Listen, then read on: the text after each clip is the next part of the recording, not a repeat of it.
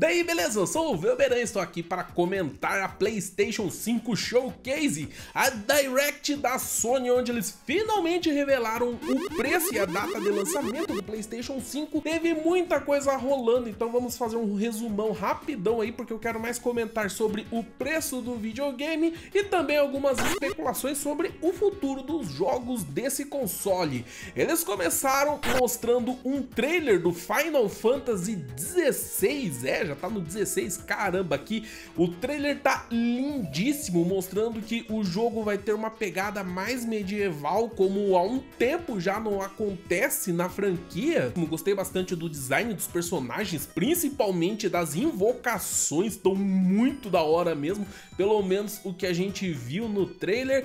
Com certeza não vai ser para amanhã que o jogo vai ser lançado conhecendo a Square como a gente conhece, né? Tudo quanto é Final Fantasy eles atrasam horrores. Então eu não tô esperando esse jogo para pelo menos os próximos 10 anos, mas fico feliz da gente já saber a cara que ele tem mesmo, que até sair a versão final vai estar tudo diferente e também que ele vai ser uma realidade e eles não vão ficar agora em diante só fazendo novela com o Final Fantasy VII. Teve mais um trailer do Homem-Aranha, Miles Morales que vai ser uma expansão standalone do Homem-Aranha do PlayStation 4, cerca de 10 horas de duração mais ou menos, pelo que eles falaram, e também a confirmação que esse jogo, o novo Horizon Zero Dawn, que eles já tinham anunciado, e o Sackboy Adventures, um spin-off da série Little Big Planet, não só vão estar disponíveis para o PlayStation 5, mas também para o PlayStation 4. Pelo menos esses três jogos aí vão ser cross-gen. Outras coisas de third party que eles anunciaram foram a expansão para o Devil May Cry, que vai ter uma campanha para o Virgil, mais um trailer do Resident Evil 8 sanando de vez as dúvidas para quem ainda tinha que o jogo vai ser sim em primeira pessoa. Por tudo que tá mostrando, Resident Evil 8 vai ser em primeira pessoa, mas no trailer novo deu para ver que ele vai ter uma pegada muito muito Resident Evil 4. Impossível não fazer as comparações, é praticamente um Resident Evil 4 com jogabilidade do Resident Evil 7. Pelo que a gente tá vendo até agora, achei bem interessante. Teve o anúncio de um jogo novo de Harry Potter, que vai ser mais ou menos nas pegadas que a Warner já tinha feito com os jogos de Senhor dos Anéis. Eles pegam o universo e desenvolvem uma história paralela dentro daquele universo sem ser exatamente o que tinha nos livros livros ou nos filmes. Mostraram mais um trailer de Demon Souls Remake que tá de arrepiar, o jogo tá lindíssimo também, é um dos meus jogos de Playstation 3 favoritos e tô bastante empolgado com este remake e eles terminaram o evento mostrando a logo do próximo God of War, que vai se chamar Ragnarok. Eles só mostraram a logo do God of War, escreveram Ragnarok e não falaram se Ragnarok vai ser o nome do jogo, ou se vai ser God of War Ragnarok, mas falaram que ele vai ser lançado no ano que vem, em 2021.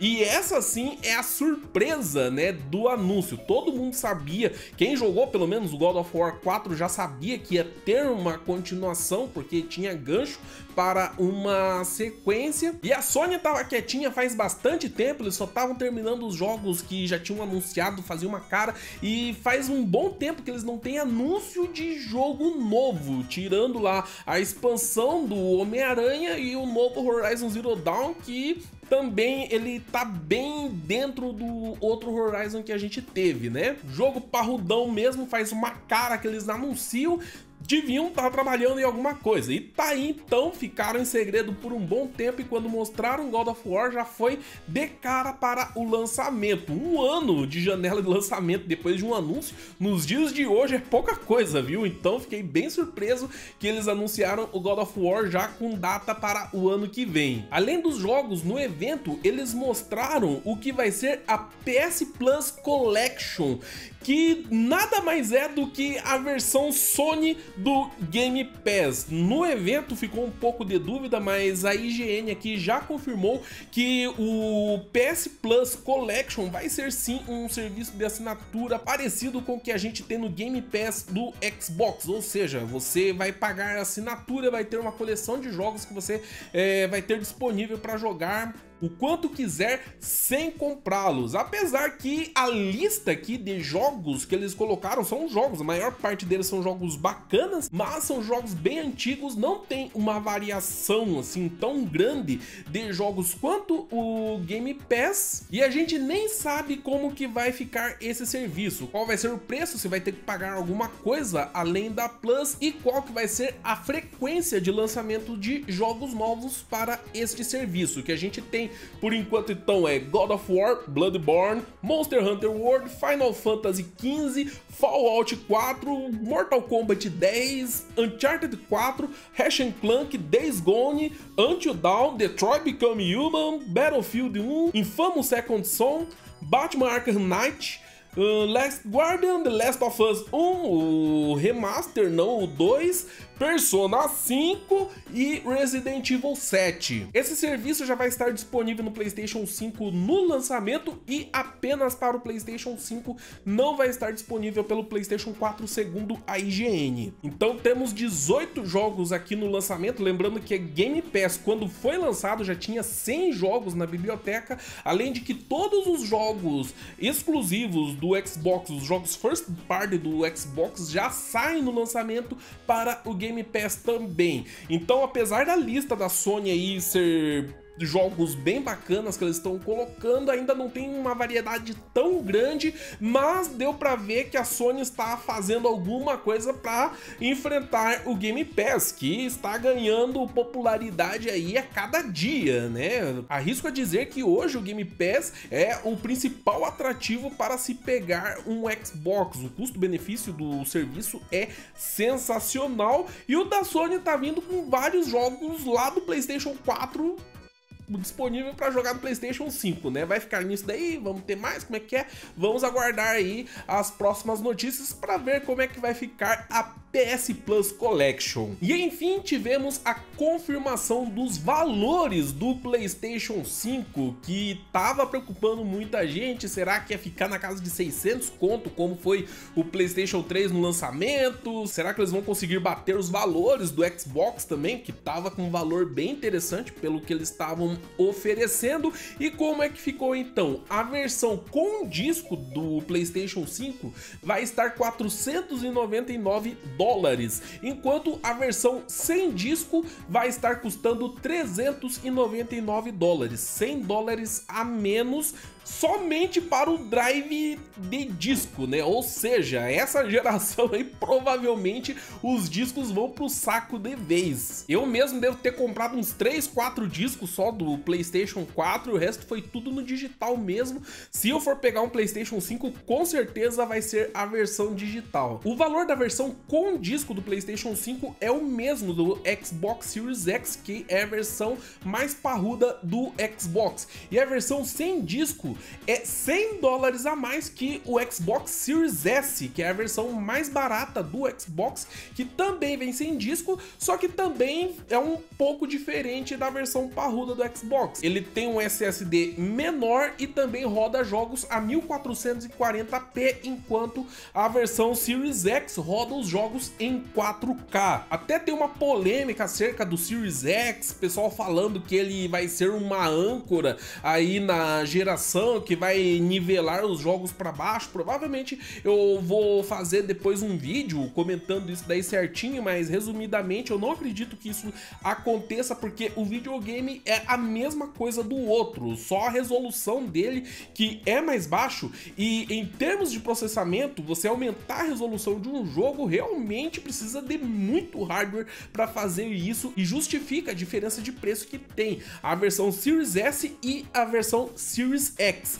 Porém, a versão mais barata do PlayStation 5, a única coisa que vai vir sem é o disco mesmo. Todo o resto do console vai ser igual à versão mais cara do PlayStation. Só que o videogame da Sony sem disco vai rodar os jogos a 4K, pelo menos pelo que a Sony prometeu. Vai ter o mesmo SSD, o mesmo tudo que o outro videogame. Só o disco, né, a entrada para Blu-ray mesmo que vai ficar sem. Pelo que a gente tem até agora, a disputa disputa entre PlayStation e Xbox vai continuar parecida com o que a gente teve na oitava geração, Xbox saindo na frente com serviços, porque Game Pass ainda está bem mais interessante e agora eles já estão é, lançando os serviços em nuvem deles e a Sony com os tais dos exclusivos de peso que renderam a fama para eles. Quem que vai sair na frente dessa geração? Vamos esperar até novembro, então, para saber quando esses consoles começam a ser lançados. Detalhe que assim como na geração passada, os dois vão ser lançados praticamente no mesmo dia, né, com poucos dias de diferença. O Xbox chega no dia 10 de novembro, PlayStation 5 no dia 12 de novembro nos Estados Unidos, no Japão e mais alguns países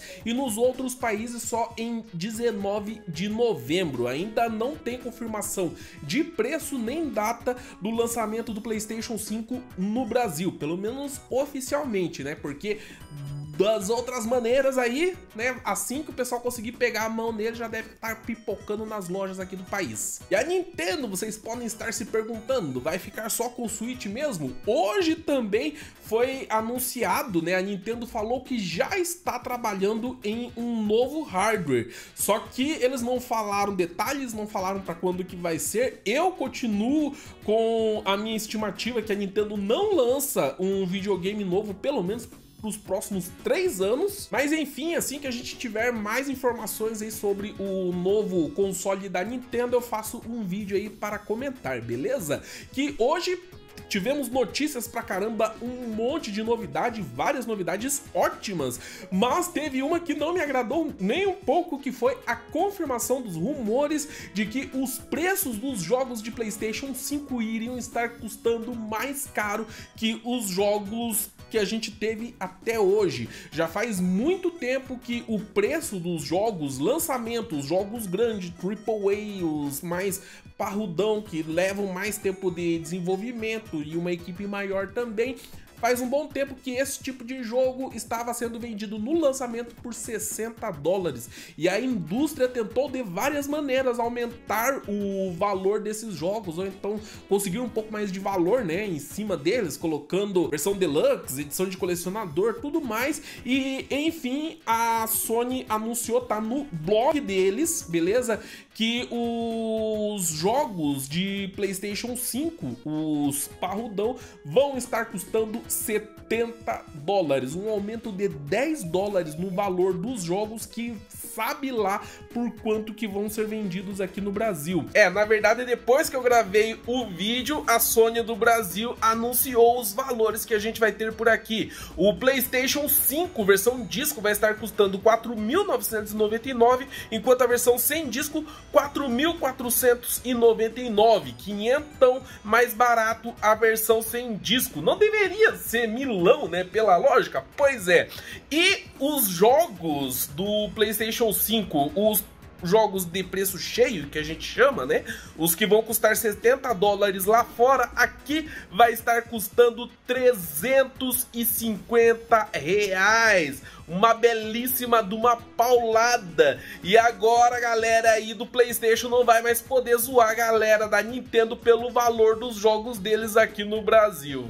Então, os títulos de lançamento do PlayStation 5 que, vai, que vão estar no dia 1 vão ser o Astros Playroom da Japan Studio, que vai estar já instalado no PlayStation 5, vai ser um, um jogo de brinde, né? Tipo Alex Kidd na memória do Master System, não, nem isso.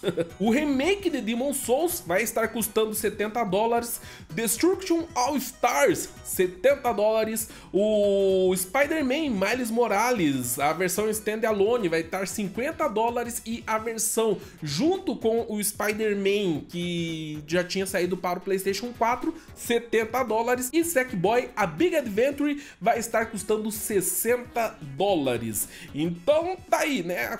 A notícia que a gente não queria apareceu os jogos a partir de agora vão estar custando mais caros. Enfim, é isso que a gente tem para hoje. Agora a gente já sabe quais são os consoles da próxima geração, suas especificações, tem alguma ideia dos serviços iniciais, assim como seus jogos de lançamento e também os preços. O que vocês estão achando? O que, que você acha que vai dar nessa geração? Qual console que te interessou mais? Deixa aquele comentário para nós, clique no gostei, compartilhe o vídeo com os seus amigos e se essa é a primeira vez que você está por aqui, inscreva-se para acompanhar os lançamentos. Eu vou ficando por aqui, nos vemos no próximo vídeo, falou!